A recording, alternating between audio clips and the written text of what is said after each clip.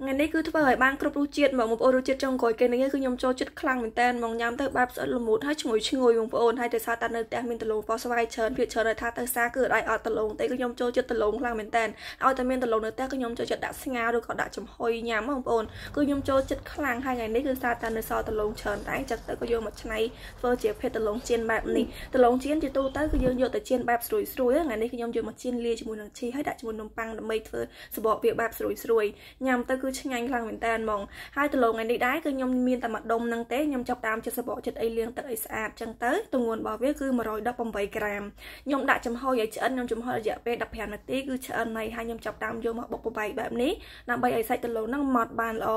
ឬក៏មួយទៀតបងប្អូនអាចយកទៅកឡុកក៏បានដែរហើយខ្ញុំចាប់តាមថែមគ្រឿងផ្សំបន្ទាប់នេះមានដូចជាទឹកដោះគោខាប់ទឹកដោះគោខាប់នេះបងប្អូនចាក់តាមចំណងចំណូលចិត្តសម្រាប់ខ្ញុំនេះគឺចូលចិត្តឲ្យសាច់ទៅលោកហ្នឹងវារៀងផ្អែមចឹងគឺខ្ញុំដាក់ទឹកដោះគោខាប់រៀងច្រើនដែរក្នុងការធ្វើទៅលោកជៀននេះគឺធ្វើរសជាតិរបស់វារៀងផ្អែមទៅបងប្អូនញ៉ាំទៅឆ្ងាញ់តែបងប្អូនចូលចិត្តផ្អែមទៅយើងអាចកាត់បន្ថយបានតែសម្រាប់ខ្ញុំហ្មងធ្វើផ្អែមគឺឆ្ងាញ់ជាងពេលដែលយើងញ៉ាំទៅប៉ាជាមួយនឹងឈីបែបវាស្អិតស្អិតល្មួតល្មួតហើយញ៉ាំទៅវាឈ្ងុយបងប្អូនហើយរសជាតិរបស់វារៀងផ្អែមឡំឡំទៅគឺញ៉ាំទៅឆ្ងាញ់មែនតើខ្ញុំនិយាយតាមដែរប៉ុន្តែខ្ញុំឧស្សាហ៍ធ្វើបងប្អូនមួយថ្ងៃហ្នឹងបងប្អូនតាមដានវីដេអូខ្ញុំគឺដឹកហើយគឺខ្ញុំឧស្សាហ៍ធ្វើខ្លាំងមែនតើទៀតច្រើនគឺខ្ញុំធ្វើជាមួយនឹងដលងចឹងឬក៏មួយទៀតធ្វើជាប្រភេទលាយជាមួយនឹងប្រហិតលាយជាមួយនឹងដលងប្រាំងអីក៏បានដែរបងប្អូនចង់ធ្វើស្នូមួយណាក៏បានដែរសំខាន់ជាងគេគឺឈីបងប្អូនមានឈីយើងមកធ្វើរសជាតិរបស់វាហ្នឹងគឺបង្កើតរសជាតិកាន់តែឆ្ងាញ់យើងញ៉ាំទៅវាបែបមិនថ្លៃថ្លៃស្អិតស្អិតស្វិតស្វិតអូយគឺឆ្ងាញ់ណាស់បងប្អូនបងប្អូនមានពេលតនេធ្វើអីឲ្យសាកធ្វើបានដោយសារតា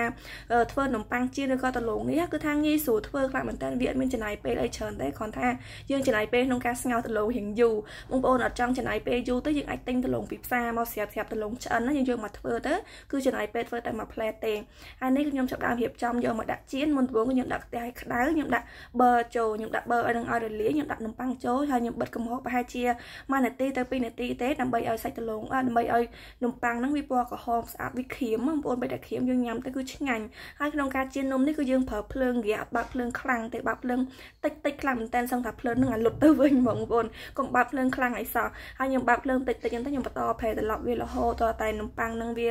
ក្រៀមល្អចេះមកហើយធំក្លិនឈ្ងុយគឺឆ្អិនហើយហើយនំប៉័ងនេះពេលដែលញ៉ាំបងប្អូនគឺញ៉ាំបានក្តៅក្តៅគឺឆ្ងាញ់ខ្លាំងមែនតើសាច់នំប៉័ងវានៅស្រួយហើយយើងប៉ះជាមួយនឹងឈីសបែបបន្ថែមថ្លៃធំក្លិនឈ្ងុយឈ្ងុយញ៉ាំជក់មាត់ខ្លាំងមែនតើបងវិធីចម្អិននំប៉័ងនេះបងប្អូនចង់យកទៅជៀនដូចខ្ញុំចឹងក៏បានដែរប៉ុន្តែគាត់ថាពេលជៀនជាមួយនឹងប៊ឺបងប្អូនអត់សូវចូលចិត្តប៊ឺឬក៏អត់សូវអត់ចង់ប្រើប្រេងឆាអីច្រើនទេបងប្អូនអាចយកទៅដាក់ដុតបានយើងដុតជាមួយនឹងម៉ាស៊ីនដុតនំឬក៏ម៉ាស៊ីន air fryer អីក៏បានដែរបងប្អូនកណ្ដាប់នាទីកណ្ដាប់កម្ដៅវាទៅដល់ម៉ោងដល់ពេលគឺថាឆ្អិនហើយហើយមកទៅយើងដកចេញមកគឺឈ្ងុយដូចគ្នាពេលដែលញ៉ាំចេះបងប្អូនប៉ះសាច់នំបែបស្រួយស្រួយឈ្ងុយជាមួយនឹងឈីហើយសាច់ដលងបាត់យ៉ាងផ្អែមឡំឡំគ្រឿងស្នូលនេះបងប្អូនចង់ប្រើដលងសុទ្ធដូចខ្ញុំចឹងក៏បានឬក៏លាយជាមួយនឹងត្រាវបងប្អូនលាយត្រាវគឺរសជាតិវាកាន់តែឆ្ងាញ់ត្រាវយើងញ៉ាំទៅបែបឈ្ងុយឈ្ងុយហើយវាស្អិតល្មួតទេគឺថាបការសជាតិនឹងកាន់តែឆ្ងាញ់មួយយ៉ាងដែរហើយនេះវិញពេលដែលញ៉ាំមកម៉ាត់ទៅបងប្អូន